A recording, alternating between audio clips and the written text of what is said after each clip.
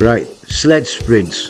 This one's for the over 45s. Can you still sprint? That's the question. It doesn't matter how much you can squat, whether you've got a six pack or not. You're not really in shape if you're that age and you can't run a full sprint, whether it's on the flat or uphill. Before you do a one or two basic exercises for your lower body, then you will almost surely get injured the minute you try and do this without doing special exercises.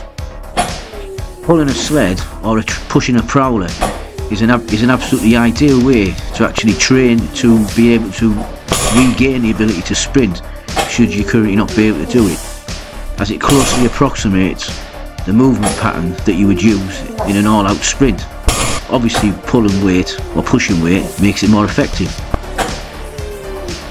So try it, all you old codgers out there, and see if it actually helps and get back to me. Thanks for watching.